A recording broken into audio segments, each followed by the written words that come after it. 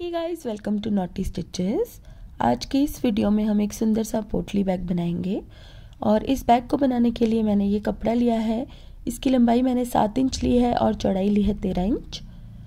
अब हम यहाँ से 2.5 इंच की दूरी पर निशान लगाएँगे और इसकी कटिंग कर लेंगे।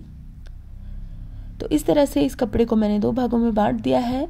नीचे वाला हिस्सा है 2.5 इंच चौड़ा और ऊपर वाला है 4.5 इंच चौड़ा। अब हमें इसके बीच में एक लेस लगानी है। तो यहाँ पर तकरीबन दो से तीन इंच चौड़ी लेस आपको लेनी है। अगर आपके पास इस तरह की लेस नहीं है तो आप ब्रॉकेट वाला फैब्रिक भी यहाँ पर लगा सकते हैं। और अगर आपको सिंपल पोटली बनानी है तो आप प्लेन कपड़े से भी ये पोटली बना सकते हैं। तो इस तरह से दोनों फैब्रिक्स के बीच में मैंने लेस को अटैच कर दिया है। और अब हम इस लेस के साथ साथ गोटा लगाएँगे। तो ऊपर की तरफ़ मैं इस तरह का बारीक वाला गोटा अटैच कर रही हूँ और इसके नीचे की तरफ़ मैं थोड़ा सा चौड़ा गोटा इस तरह अटैच कर लूँगी। यहाँ पर आप अपनी पसंद की कोई भी लेस लगा सकते हैं या फिर अगर आपके पास कुछ लेसेस के पीसेस बचे हुए हैं तो उनको भी आप इस तरह से इस्तेमाल कर सकते हैं।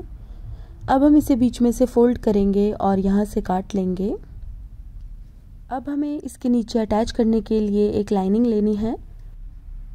आप पोटली वाला कपड़ा भी लाइनिंग की तरह इस्तेमाल कर सकते हैं, लेकिन मैंने लेस के साथ मैचिंग कलर की लाइनिंग ली है। अब इसके साइज़ की ही हम लाइनिंग काट लेंगे और इसके ऊपर अब हम निशान लगाएँगे। तो ऊपर से 1.5 इंच की दूरी पर इस तरह एक सीधी लाइन हम ड्रॉ कर लेंगे। अब साइड से हम एक इंच टेप जितनी दूरी पर निशान लगाएँगे, इस तरह दोनों तरफ़ निशान लगा लेंगे और अब हम इसे सिलेंगे। तो इस तरीके से हमें यहाँ पर सिलाई लगानी है।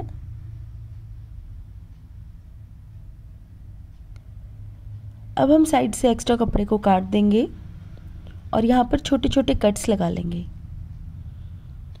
अब हम इसे पलट के सीधा करेंगे।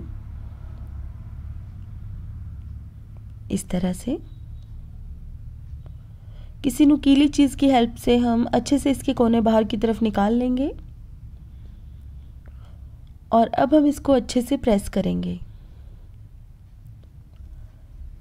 पोटली के दोनों पल्लों को हम इसी तरह से तैयार कर लेंगे और इसके साइड पर हम सिलाई लगा लेंगे।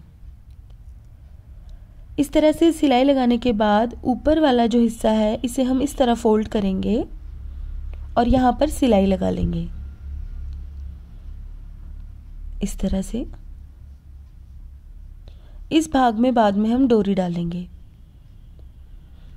तो इस तरह से पोटली के दोनों पीसेस को मैंने तैयार कर लिया है और अब हम इन्हें एक दूसरे के ऊपर रखेंगे।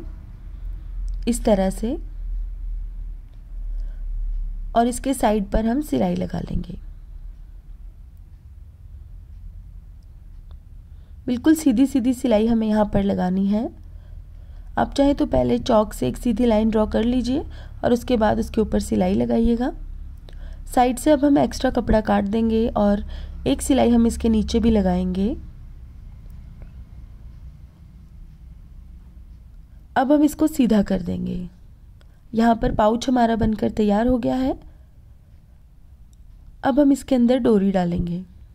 डोरी को हम इस तरह से डालेंगे कि डोरी खींचते ही आसानी से बंद हो जाए और खुल भी जाए।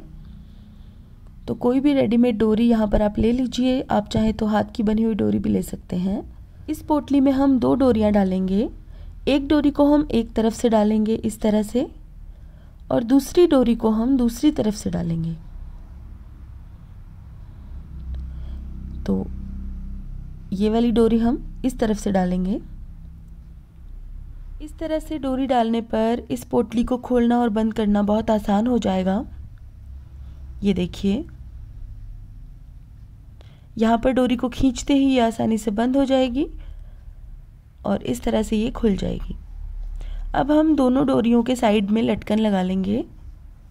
तो बिल्कुल सिंपल सा टेसल मैं यहाँ पर लगा रही हूँ कपड़े से ही बनाकर। आप चाहें तो थोड़ा बीड्स वाला या थोड़ा हैवी लटकन भी इसके साइड पर लगा सकते हैं। तो इस तरह से अब हम आगे से लटकन को गोलाई में काट देंगे। और बिल्कुल इसी तरह से हम दूसरी डोरी पर भी लटकन लगा देंगे। तो इस तरह बहुत ही आसान तरीके से ये पोटली बनकर तैयार हो जाती है। आप इस पोटली को किसी भी साइज़ में बना सकते हैं। अगर आप चाहें तो इससे और ज़्यादा छोटी पोटली भी बना सकते हैं, जिसमें आप अपनी ज्वेलरी को स्टोर कर सकते हैं और थोड़ी बड़ी पोटलियाँ भी आप बना सकते हैं। तो गाइज़ आज के लिए बस इतना ही। अगर आपको मेरा ये वीडियो पसंद आया है तो इसे लाइक करें और मेरे चैनल को सब्सक्राइब करें। सब्सक्राइब के बटन के साथ साथ बेल आइकन को भी दबा लें ताकि आपको मेरे आने वाले वीडियोस के अपडेट्स मिल सकें। और इसके साथ ही आप मुझे फेसबुक और इंस्टाग्राम पर भी फॉलो कर सकते हैं, जिसका लिंक मैंने डिस्क्रिप्शन बॉक्स में दिया है। तो guys thank you so much for watching bye bye